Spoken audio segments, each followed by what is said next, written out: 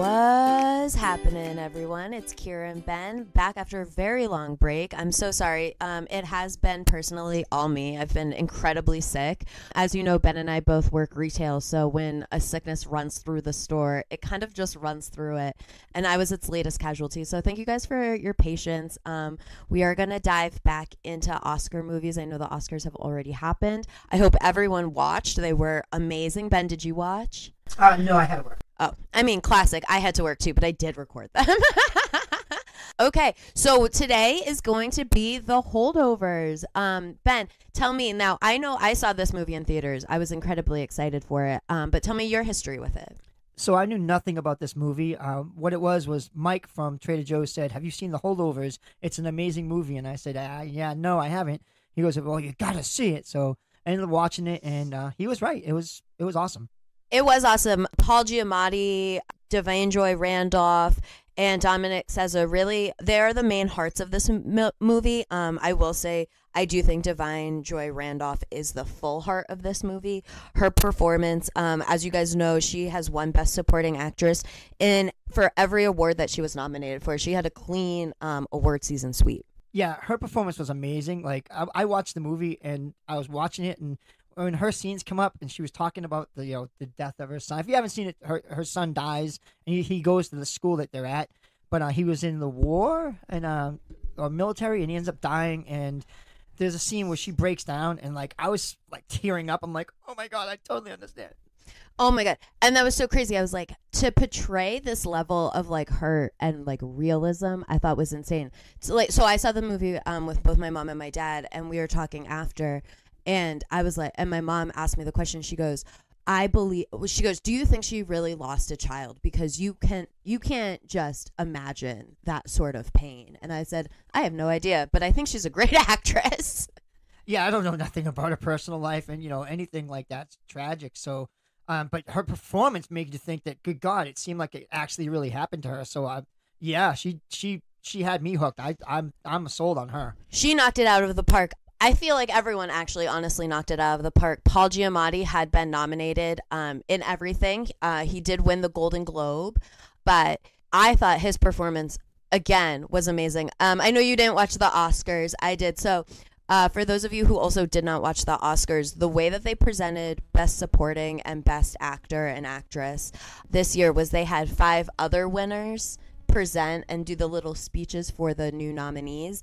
And Nick Cage did Paul Giamatti's, and he was talking about the methods of acting. And um, Paul Giamatti has a lazy eye in this film and he actually wore a glass eye throughout like all of filming he put like a glass like film over his eye and he ended up started going like a little blind Oh, that's awful. I mean, you know, you got to give everything for your your your role Yeah, your role, but good God, not losing an eye. I know. Well, he does. His eyesight's back. His eyesight's back. But I thought that was funny, and I think if we look in like relation to like how praised his um, performances, and then Bradley Cooper, who was also nominated for Best Actor for uh, Maestro, uh, he really he really put his all into it, and he kind of got no recognition. So I think I I just think it's really funny how people will latch onto certain performances, and people will elevate certain performances and bring them up. But let's talk about the film. We can I can just talk about the acting forever, but let's talk about the film.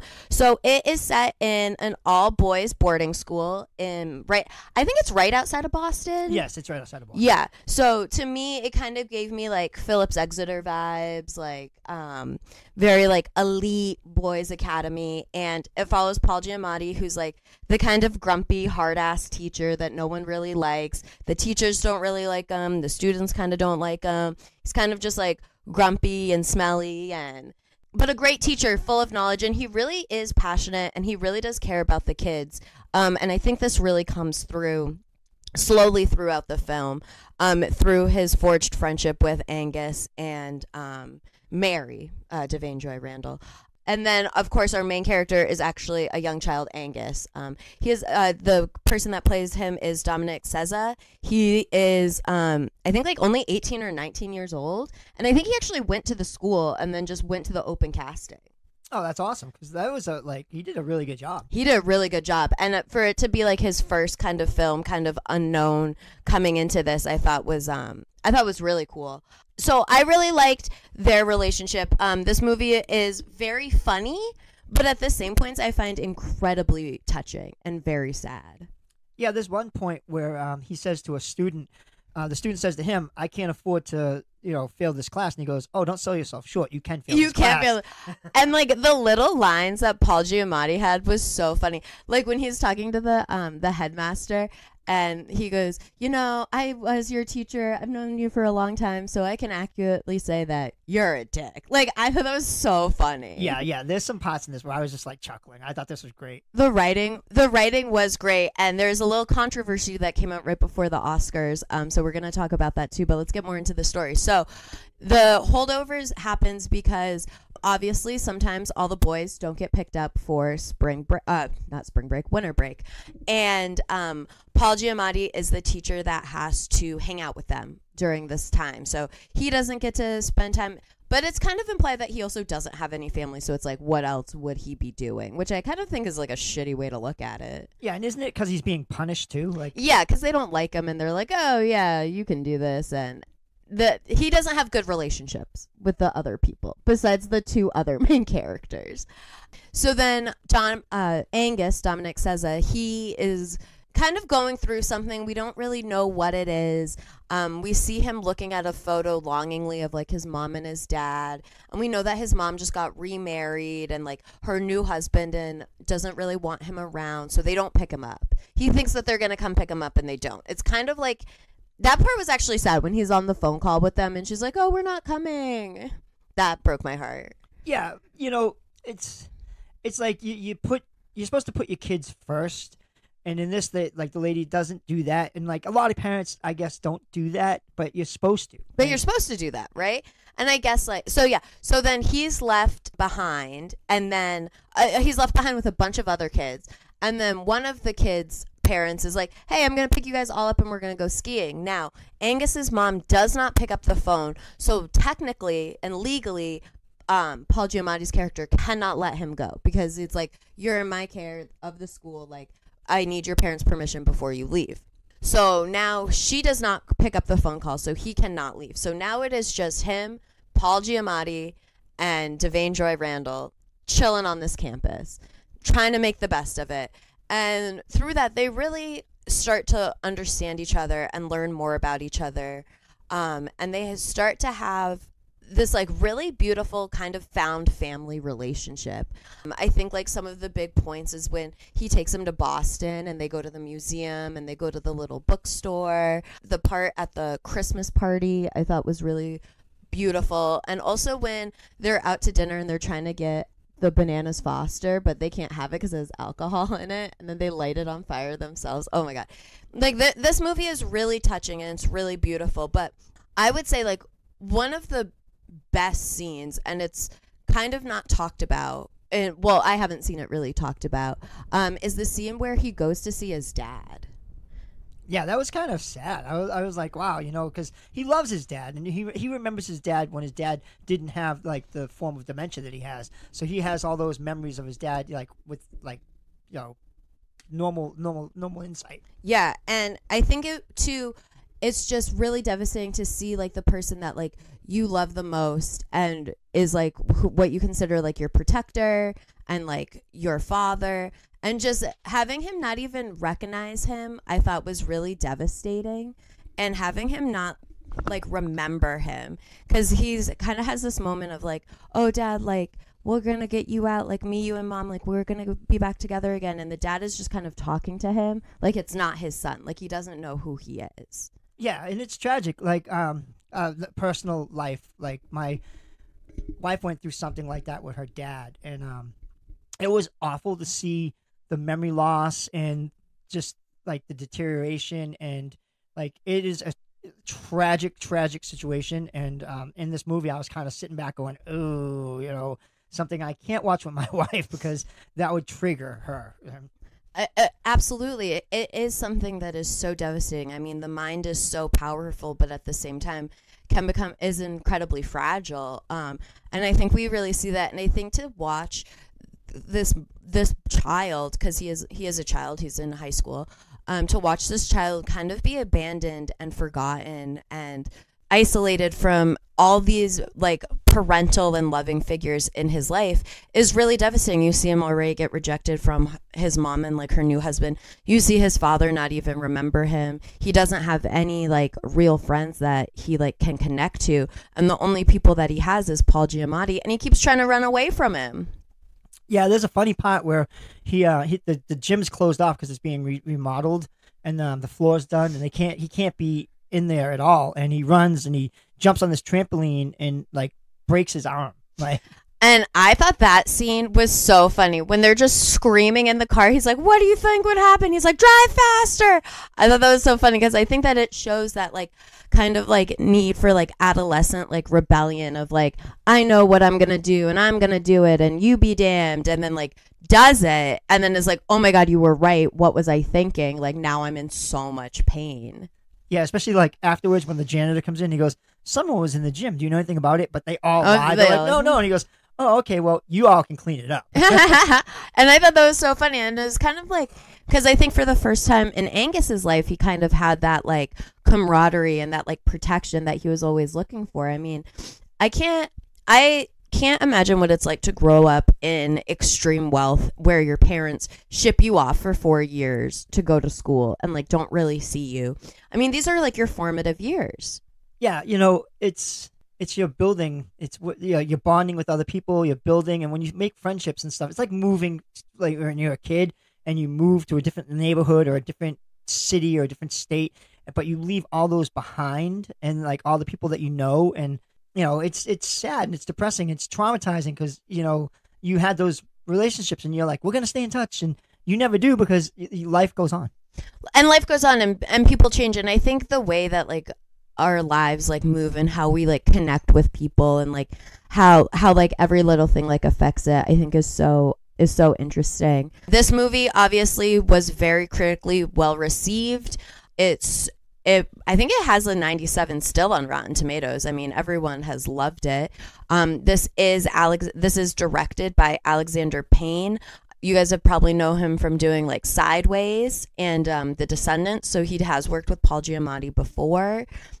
I also think he did the movie Downsizing, but I didn't. I didn't see that when they shrink Matt Damon. Did you see that? no i didn't Yeah. Hmm, Who cares? Matt Damon. Eh. Whatever.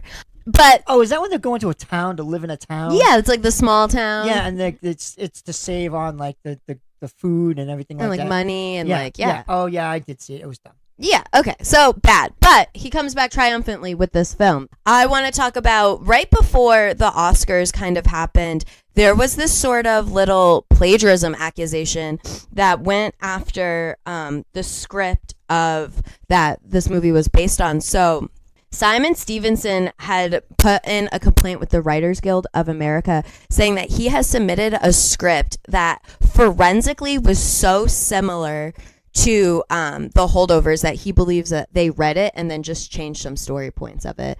I don't know how, I mean, I think the investigation is still going. I don't know how it's shaking out, but I think it's really interesting. And I kind of want to talk to you and talk about um, with this the idea of like submitting your work and and and um, kind of giving your work to these bigger houses to to try to make a script out of and if you don't copyright it eh, or what does it take to change something enough to make it your own Yeah, there's been like numerous cases of that. Like, wasn't like Harlem Heat, Harlem Nights? yeah i think With- that was similar Yeah, that Eddie Murphy got sued with Yeah. that, and then um, what was it? The the book uh, Terry Goodkind.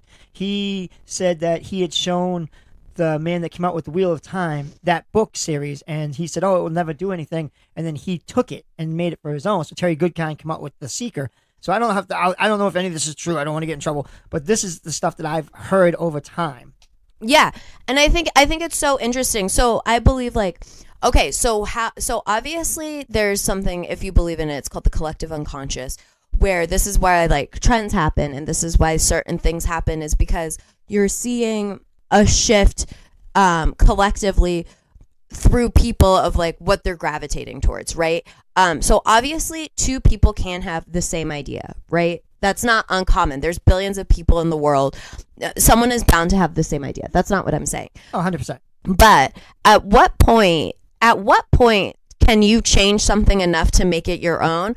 Or if you're stealing the base of someone else's idea, was it ever your own? I mean, some people are just more talented and t- can recognize a good idea and make it something. And does that hold any merit? Yeah, like we kind of went through something like that a little bit a while back. Uh, uh, where was happening, WZ happening, and someone come out with uh, what's happening, and they were like, "Oh, well, that's ours." And I'm like, "Well, we were here for the beginning, and uh, where was happening, we do movie reviews. We're nothing like you, you know. So, um, uh, and if you're still out there, we're still better than you." Exactly. And where was happening, not what's happening. Sounds like a boring question. But but truly like if you look at it like what what con- constitutes an original idea right because two people can tell a story about a, dis- a disillusioned older man and the friendship that he forges and like the relationship that he forges like with a younger person and how they kind of connect with each other and help each other i mean that seems like a pretty universal story to me Yeah, hundred percent. I mean, how many books have you read where you go, "Oh, wait, this seems just like the other book I read before," and you have to go back and look at the different author, but it came out years later or years before. I mean, yeah, similarities are gonna always be there because the world is big, but people mind and conscience isn't. It, it- it's not, and I mean, one one one one of my favorite examples of this, and you'll see it like movies. Similar movies will come out all the time from different houses, like Vampires. vampires. But like, if you look at like Contact and Armageddon, that's basically the same movie told in two different ways. Hundred percent. You have Just Friends and Friends with Benefits. Those are two of the same romantic comedies with different leads. Like, you, th- there's so much similarity because there's so many different ideas and there's so many creatives out there. I mean, I don't, I don't know if Alexander Payne stole this. If he did steal it, I do think that's kind of bullshit that he didn't give at least writing credit to. It's not that hard to give credit, even if you like read a script. It, it's not hard to give credit. Yeah, I, uh, recently Katy Perry uh, got in trouble for taking the Christian rock band's music for um, what's her her big hit? She has so many. I don't know. Uh, the one with the lion. Oh, Roar. Roar, yes. So the music for that was actually from a Christian rock band, and uh, they had sued and won. Wow. I mean, and that's the thing. You got to copyright your stuff, people. Like, th- there are laws like this for a reason. Um, but at the same point, like, it's not that hard, as I was just saying, to give credit. Like, Katy Perry obviously could have given credit. I mean, in music is very different from like writing. There are things called like sampling and interpolation, and like you can manipulate and use and skew parts of other songs to create like what you're looking for. That happens literally all the time. Um, but you, it, it comes down to credit. Like you have to give people credit. Like, and it's okay to say that. Like, oh, you know what? Like I had help with this, and that's what I don't understand. Yeah, I agree. Like you see a lot of it lately. Like really a lot lately. Um, Blurred Lines just got um, a while back got sued for using. I want to say it was either Bob Marley or someone's someone's music. I mean, so you see it a lot in music and a, and a lot in art. Art. What's the old saying? Like art repeats itself. art does repeat itself. That's why we have trends. That's why we have like that's why everything comes full circle. That's why especially like one of the best r- ways that you can look at this is fashion. Like all fashion trends will, will repeat on like a 30 to 40 year cycle. That happens. It's okay. Give credit. So if Alexander Payne really did steal this script, um, that's kind of shitty. But I will say, whatever parts that he took or added, it, it, it, it turned out to be a great movie. Yeah, I love the bar scene where the, the he gets in trouble with the people playing pool. Oh and, like they're gonna kick his ass, and he has to go and like get saved by the teacher. That was, that was pretty funny. I thought that was funny too because it kind of shows how like he kind of has like this like smart alecky like attitude and this kind of like kind of like wall up a lot of the times and you can kind of see him always pushing people away because no one's ever really stuck around and then we see Paul Giamatti sticking around and then we see Paul Giamatti fighting for him at the end when they want to um when they want to expel him and they're like you you can't do this and Paul Giamatti actually lost his job to save him. I thought that was great. Yeah, you know, because they were like, "Whose idea was it?" And he was like, you know, thinking for a second, he was like, "It's mine. It's mine." He he's like, he did nothing wrong. None of them did anything wrong. This was all my idea. So he totally took it on the chin. Yeah, he did. And he was doing that because you can tell that like he didn't want like this boy was so lost. He was just trying to find his dad. He's just trying to find his place. Like he's just trying to carve out this like little bit for himself. And and Paul Giamatti, I think, initially had a lot of respect for him because he was so smart and he was the only one that was doing well in his class. Yeah, I remember at the beginning they're talking trash about the, about him, Paul Giamatti, and um, they're all together talking trash about him. But at the ending, they come back from from school and he's there, um, and they, he's leave. Paul Giamatti's leaving. He's talking to the kid, and the other kids like say something about him, and he's like, "No, he was a good teacher." Yeah, and I think and I think that like kind of shows like because no one really respects Paul Giamatti as a teacher, but he's been the teacher there the longest. Like obviously he's a good teacher, and I mean it's not it's not about like pampering and kind of like coddling the, the the like rich, which is what I think happened happens and then Paul Giamatti was kind of like the resistance against that like he's like I'm trying to build excellence and I'm trying to build these boys up and I'm trying to make them smart and like capable and he does it in a very funny sarcastic way with them Yeah, hundred percent. And there's one part where Paul Giamatti meets an ex-colleague that went to college with him. What Princeton was it?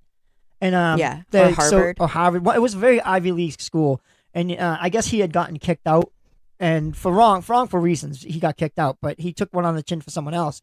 The guy's kind of judging him a little bit, and he's like, "Oh, you know, I do this and this," and then. The uh, Dominic Sessa sticks up for him, says, "Oh well, he's writing a book, and he's doing a, and like he totally like f- like makes up this story to help out um, him, and you know it was kind of cool. It was cool, and you kind of see that like that bond that they've been creating, and this like kind of protection that they have for each other, and this kind of like admiration that they have. I mean, Paul Giamatti realistically is like probably outside of his dad, who he has like memories of, is like the most stable parental figure like in his life.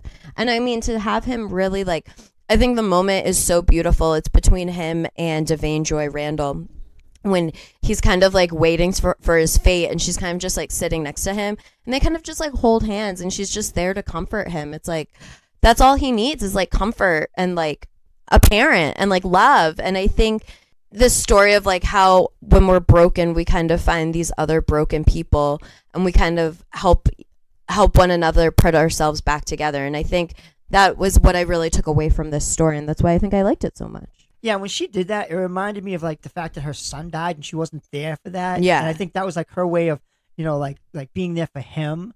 Like it was like her come around, you know. Of But she- course. her biggest regret was that she wasn't. She was always there for her son, and they were best friends besides parent and mother. Uh, you know, son and mother, and um, like she talks about how she wishes she was there at the end with him to say goodbye. So when this is about to be this kid's goodbye, she's there with him. and, and it is a really beautiful moment and i think that moment of like especially like i mean i've never i'm i don't have a kid. I'm not i don't have any kids in the military or anything. I've never lost a child. But i think too when you can say goodbye to someone there is a lot of that closure. But when it happens so far away and you're just hearing about it and that i feel would be incredibly isolating. Because like in the scariest moment of like a person's life like they want to be surrounded by like the ones that they love. And i don't think you get that in the army and i don't and i think that was implied here and i think that guilt and that kind of like regret that she holds on she really does i think it's very cathartic for everyone Yeah. Uh, so I'm going to share something that's very sad and depressing for me.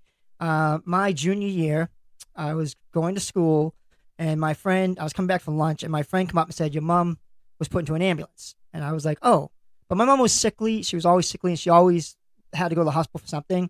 So after school, I was walking up, and so there was a bunch of people in front of my house, and I was told that my mother had died. Uh, I was not there for her. I totally was like a basket case afterwards because you know I never got to say goodbye. Like my dad, he was at the hospital. They didn't tell him she had passed. He went looking for her, found her in the room with a blanket over her, and like just lost it and came home. Uh, so being there for the person you love is probably one of the most important things in life, and not being able to do that for like me and my dad was just like devastating.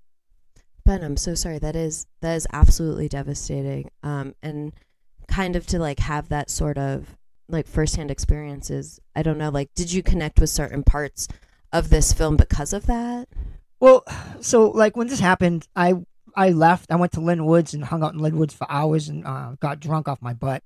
When I came home, my dad had gone out with my aunt Cindy. He went to sleep over there, so he wasn't alone. And I just remember sitting in the rocking chair, my mom's rocking chair, and I looked over and she had a pack of cigarettes. She used to always smoke uh, like old gold, and I just remember smoking these cigarettes, and I didn't smoke cigarettes. So I was coughing and hacking on it and crying, and it was just an awful, awful feeling for me because like uh, the sense of loss and like knowing that I would never see this person again, who was like my life. I could see the emotional connection between me and the the lunch maid because you know it's someone you love, and you know you always think they're gonna be there, and when they're gone, it's just like it's heart wrenching. It is. It is, especially. Um, I mean, a child never expects to lose um, a parent, so I can't even, especially so suddenly too. Ben, I am. uh, That's devastating. Oh yeah, it you know it was a long, long time ago, but you know pain never goes away because it's your it's your family. You know. Of course, of course, and I mean, you'll like you said, like this was the most important person in your life, and I mean, she's still with you every day.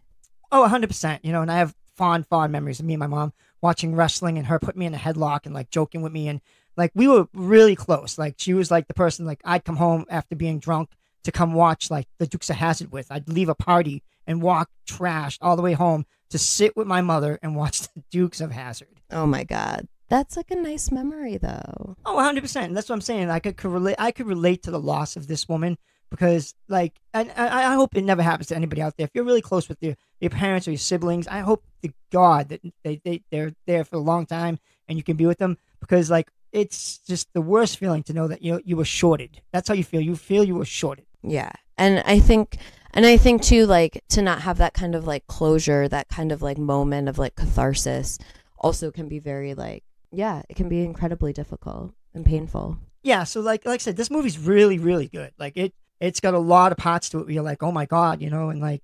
You know, I watched it and it was rough. I couldn't watch it with my wife because, like I said, with her dad. So the part with that kid's dad, that might be like too much for her. So, but yeah, it is a great movie. Uh, don't let me like my what I was sharing that because it's a personal thing. I thought you know it, it fit with the movie. So it does fit with so the movie. so don't like not see this movie. It's a beautiful movie. Oh, see this movie.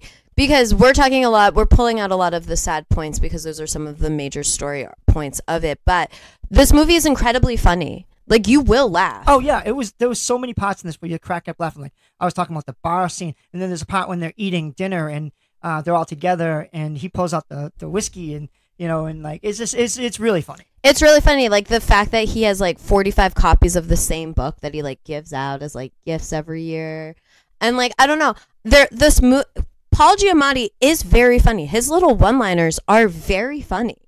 Yeah, a hundred percent. I, I like I said, there's uh, what's the part when he's he's dropping her off at her sister's house in in Cambridge, Yeah, and um or like a Roxbury, something Roxbury. like that. It was like yeah, someplace I've been to uh, in my travels. Uh, it, but it's like it was it was funny. Like he makes a couple of comments to her, and she makes a couple of smart comments back. But at the end, like you know, they're gonna miss each other. they're gonna miss each other and then that's actually a beautiful moment um, she goes to see her sister because her sister's pregnant and you kind of see them like setting up like the baby room together and you kind of see this like sadness in her eyes of like oh like you're starting your life with your son and i've just lost my son and it was this really beautiful moment of like how like family does come together and like sisters are like connected it um it, I, I thought it was fin- phenomenally done Yeah, and didn't they, she like like name the baby um a part of the baby's name like the middle Like name after, after, him? Yeah, yeah. So So it was really beautiful. Absolutely watch this movie. It was nominated for best um, best picture, uh, best supporting actress, which it won, best actor, which it did not win,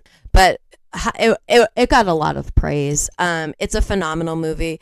I don't know if it's the best movie to watch now in the springtime. To me, it definitely it is set around Christmas time, so it's much more like wintry vibes. yeah, Thanksgiving break. Thanksgiving break, Yeah. yeah. Christmas. So I think um, watching it in that time, I know it's a long time to wait, um, but I think it would have more of an impact if you're a first time viewer. Viewer, but absolutely watch it. I know it's playing for free on Peacock, I believe. Yes, Thought Peacock. Um, so if you guys have that, watch that. Obviously, if you want to rent it though, rent it. It's absolutely worth the money. I don't think. Um, I, yeah, I would. I would pay. I mean, I paid to see this movie in theater, so I would obviously pay for it again. Yeah, I bought it. So Yeah, because it's so good. yeah, hundred percent. It was worth it. It was absolutely worth it. It really does feel very New England. Um, it has a lot of New England vibes. It was funny. A lot of movies were set in Boston this year. Um, this being one of them, American Fiction, which was also nominated for Um, an Academy Award was also set like in the Boston area. I just saw a rom com, Anyone But You, that was also set in Boston for a little bit. Like Boston's kind of everywhere right now. Well, I do know that like for a little bit, Boston was like was a really hard place to come to because um, how much they charged. Mm. But um, they had dropped all that like charging and, and everything to get the movie Moving companies to come here. You know, it was after uh, what was that Black Friday? yeah. Um, so like Black Friday was filmed here. There was a bunch of movies that were filmed. here. Black Friday was actually filmed in Lynn, uh, at the old Hawthorne restaurant in downtown Lynn.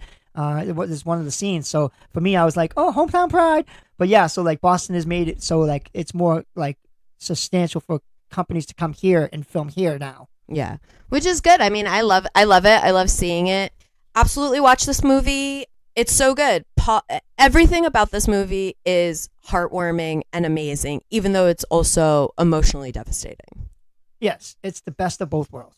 It really is. Absolutely watch it. I can't praise this movie enough. Um, this was this has been a great year for movies, and I think the um, the Academy Awards really showcase that. There are so many great performances, so many great films. We're going to talk about a few more that have really done well this season. So catch us next time on Woz Happening.